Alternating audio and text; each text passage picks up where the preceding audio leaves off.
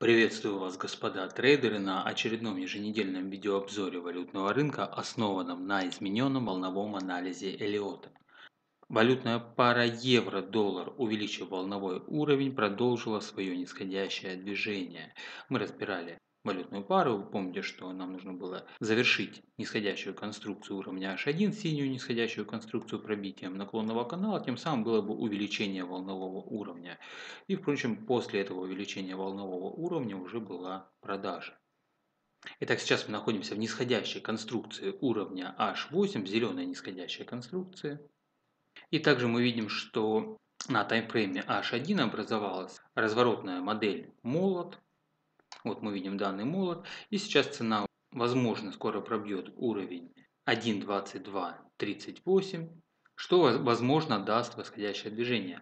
Но опять-таки мы будем ориентироваться на конструкцию, на нисходящую волновую конструкцию. На данный момент эта конструкция усеченная. Если мы натянем фибосетку на волну А, то мы увидим, что уровень 123.6, конечно же, был не пробит. То есть уровень 123.6 находится намного ниже вот где находится уровень 123,6. То есть конструкция считается усеченной. Усеченность конструкции говорит о слабости данной конструкции.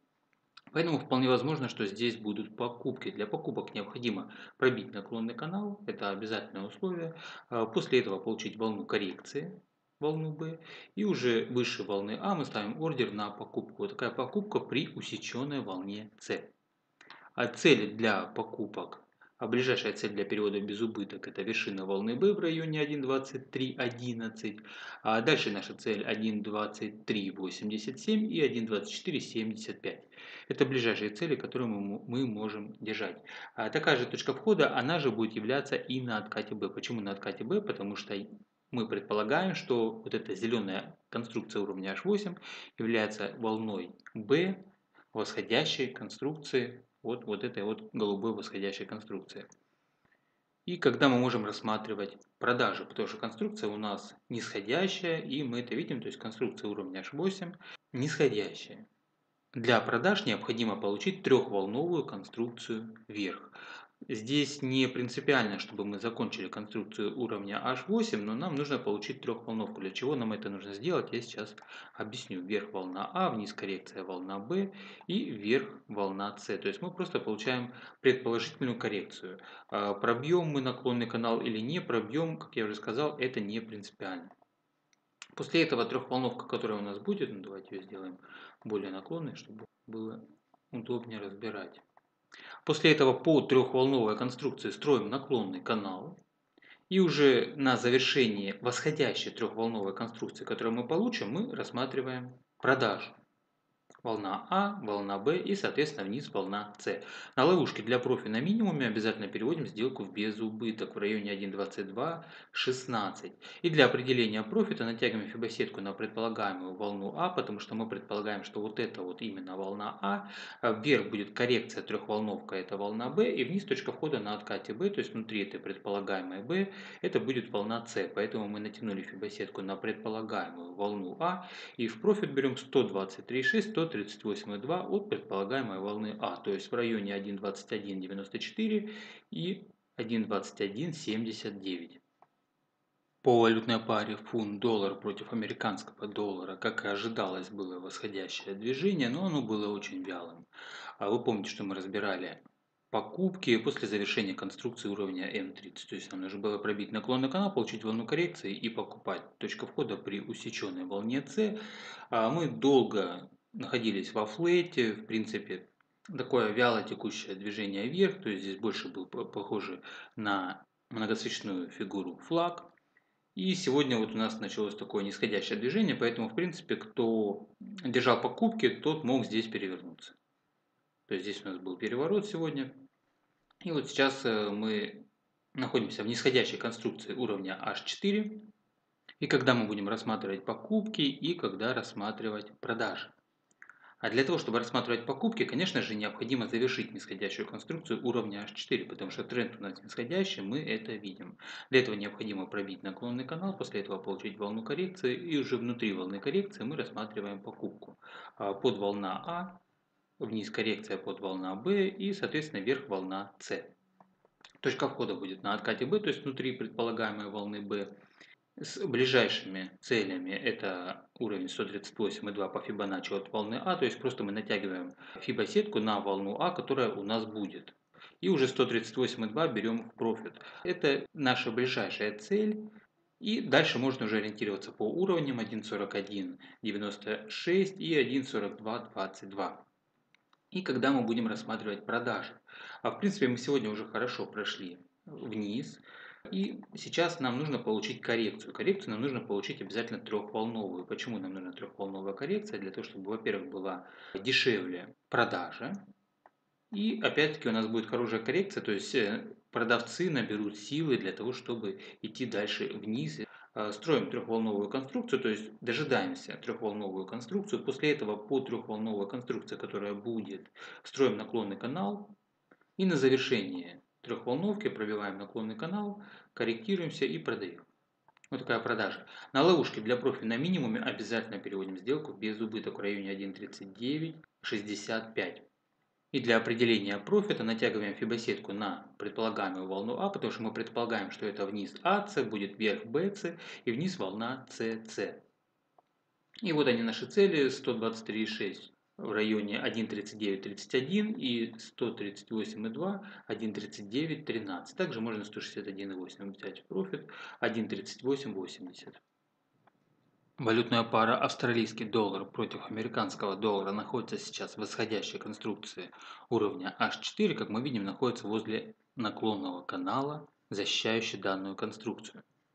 И также мы видим, что у нас есть нисходящая конструкция уровня H1, которая находится внутри восходящей конструкции уровня H4.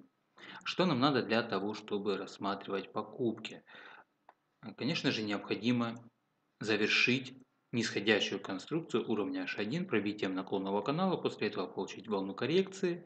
И уже после этого на пробитии максимума, на пробитии волны А, можно будет рассматривать покупку. Такая покупка будет при усеченной волне С. Почему при усеченной волне С? Потому что конструкция уровня H1 является у нас усеченной. Если мы натянем фибосетку на волну А, то мы видим, что уровень 123,6 находится намного дальше минимума, который у нас есть. И для того, чтобы нам рассматривать продажи, нам необходимо завершить нашу восходящую конструкцию уровня H4 пробитием наклонного канала. А после этого необходимо получить волну коррекции, которая обязательно должна будет завершить нашу синюю конструкцию. То есть в любом случае нам нужно получить повышение волнового уровня. Почему? Потому что нам необходимо, чтобы волна А пробила наклонный канал, после этого была коррекция волна Б. И после этого уже внутри волны Б, если она будет глубокая, то мы рассматриваем продажи под волна А, под волна Б и, соответственно, вниз под волна С. Вот такая вот продажа. А на ловушке для профи на минимуме, который у нас образуется, мы переводим сделку без убыток. То есть, ну, если будет минимум здесь, то мы здесь переводим сделку без убыток. И дальше для получения профита, для определения профита мы натягиваем фибосетку на волну А, которая у нас формируется. И в профит берем 123,6, 138,2 по Фибоначчи. Новозеландский доллар против американского доллара на прошлой неделе нам дал покупки. Вы помните, что мы рассматривали покупки на завершение нашей нисходящей синей конструкции на пробитие наклонного канала. После этого должна была быть волна коррекции, после этого импульс.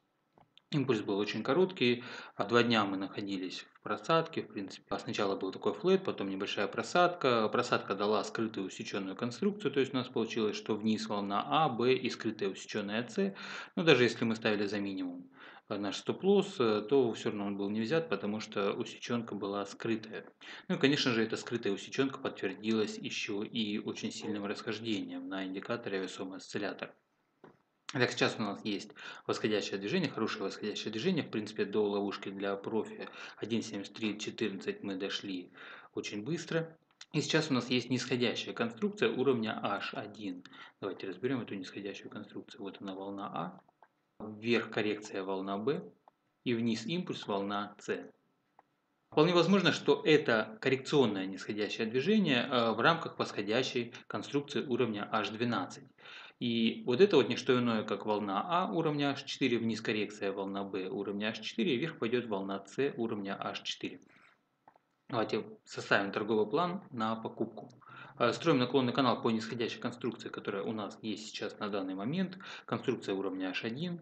После этого нам нужно пробить наклонный канал, э, получить волну коррекции И на пробитие первой импульсной волны мы покупаем. Такая точка входа будет на откате B, на откате предполагаемой волны B уровня H4, потому что мы предположили, что это H4, B, H4 и вверх будет C уровня H4. На ловушке для профиля на максимуме обязательно переводим сделку без убыток в районе 0.7320. И для определения точки профита натягиваем фибосетку на предполагаемую волну А. И уровень 138,2 в районе 0.7369 является нашей главной целью. Для того, чтобы рассматривать продажи, все-таки думаю, что стоит дождаться завершения восходящей конструкции уровня H12 пробитием наклонного канала. То есть для этого нам нужно пробить наклонный канал, после этого получить волну коррекции, и уже внутри волны коррекции мы рассматриваем продажу под волна А, под волна Б и соответственно вниз под волна С. А, такая продажа более поздняя, но тренд у нас восходящий, мы это видим, что цена находится в восходящем тренде и восходящих волновых конструкциях. Не считая конструкции уровня H1, ну это все-таки не самая высокая конструкция, которая здесь есть. Поэтому мы ориентируемся на более высокие конструкции для определения тренда. По валютной паре американский доллар против швейцарского франка – Цена продолжила свое восходящее движение в рамках восходящего ценового канала и восходящей конструкции. Как вы помните, для того, чтобы рассматривать продажи, нам необходимо было обязательно пробить уровень 0.9518, мы по нему ориентировались. И для того, чтобы рассматривать покупки, нам нужно было просто повысить волновой уровень, что и произошло. То есть была коррекция, а, которая дала повышение волнового уровня, поэтому здесь были, конечно же, покупки. Сейчас цена находится в восходящей конструкции уровня H4 которая имеет подволны уровня H2 и уровня M30. Для того, чтобы рассматривать продажи, конечно же, нам необходимо завершить нашу восходящую конструкцию уровня H4. Для этого необходимо пробить наклонный канал, после этого получить волну коррекции. И уже как внутри коррекции, так и на пробитии минимума мы рассматриваем продажи, но не раньше. Почему? Потому что тренд у нас восходящий, мы это видим. Конструкция у нас восходящая. И для того, чтобы рассматривать покупки, нам необходимо повысить волновой уровень конструкции уровня M30, то есть завершить конструкцию уровня M30. Для этого необходимо пробить наклонный канал. Э, может это быть вот в таком виде. Волна А, волна Б и вниз волна С. Все, мы пробили наклонный канал, там волна С может быть более глубокая. После этого строим наклонный канал по нисходящей конструкции, которая у нас будет. И на завершение данной нисходящей конструкции мы рассматриваем покупки волна А, волна Б и волна С. Такая точка входа будет на откате Б, на откате вот этой Б, которую мы предполагаем. То есть вот это вот будет волна А, вниз коррекция волна B, и на завершение этой волны B мы рассматриваем покупку. Естественно, на максимум, который у нас будет, переводим сделку без убыток, потому что не исключено, что будет фигура двойная вершина. И дальше для определения профита натягиваем фибосетку на волну А, которая у нас будет, и берем в профит 123,6, 138,2 по Фибоначчи. У меня на этом все. Зарабатывайте вместе с нами. Профита вам и благополучия. Пока.